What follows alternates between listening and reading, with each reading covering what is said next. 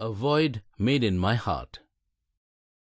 Peggotty takes David to visit her family in Yarmouth, where David meets Peggotty's brother, Mr. Peggotty, and his family. After tea, little Emily was sitting by my side upon the lowest and least of the lockers. Mrs. Peggotty was knitting on the opposite side of the fire. Peggotty, at her needlework, was also at home. Ham was trying to recollect a scheme of telling fortunes with the dirty cards. Mr. Peggotty was relaxing. I felt it was a time for conversation.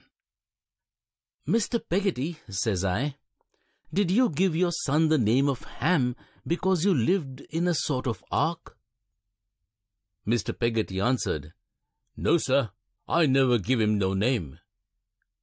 Who gave him that name then? Said I, putting question number two to Mr. Peggotty. Why, sir, his father gave it to him, said Mr. Peggotty.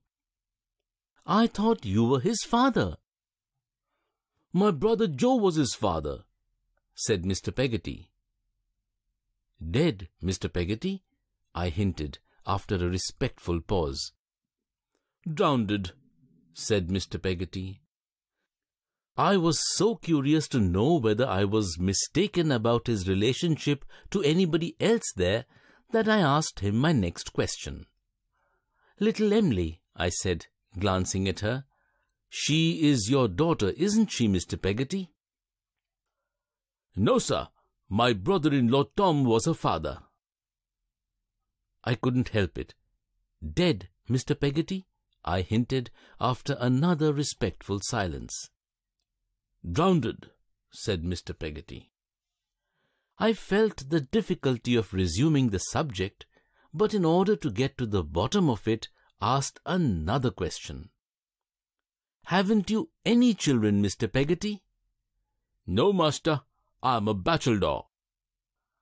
A bachelor? I said, astonished. Why, who's that, Mr. Peggotty? Pointing to the person in the apron who was knitting. That's Mrs. Gummidge, said Mr. Peggotty. Gummidge, Mr. Peggotty?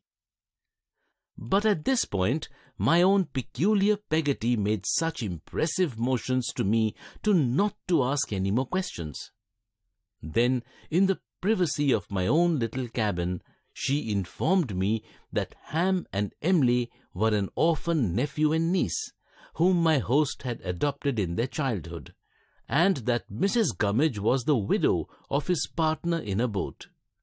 She said that he was a poor man, but as good as gold and as true as steel.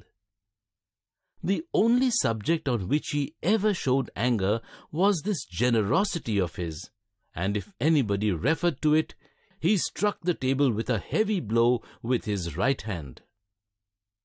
Almost as soon as the morning shone, I was out with little Emily picking up stones upon the beach. You're quite a sailor, I suppose? I said to Emily. No, replied Emily, shaking her head. I'm afraid of the sea. Afraid?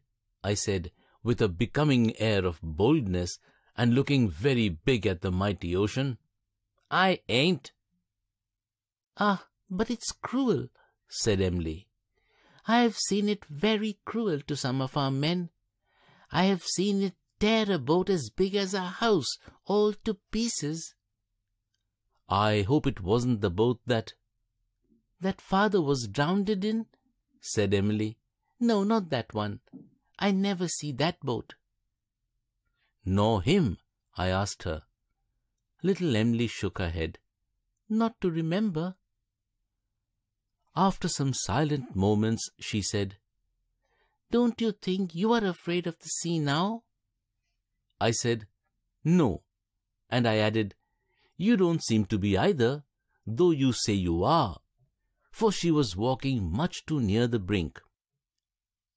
I'm not afraid in this way, said little Emily but I wake when it blows, and tremble to think of Uncle Dan and Ham, and believe I hear them crying out for help. That's why I should like so much to be a lady. we made our way home to Mr. Peggotty's dwelling. At last the day came for going home. My agony of mind at leaving little Em'ly was piercing. We went arm in arm to the public house where the carrier put up, and I promised to write to her. We were greatly overcome at parting, and if ever in my life I have had a void made in my heart, I had one made that day.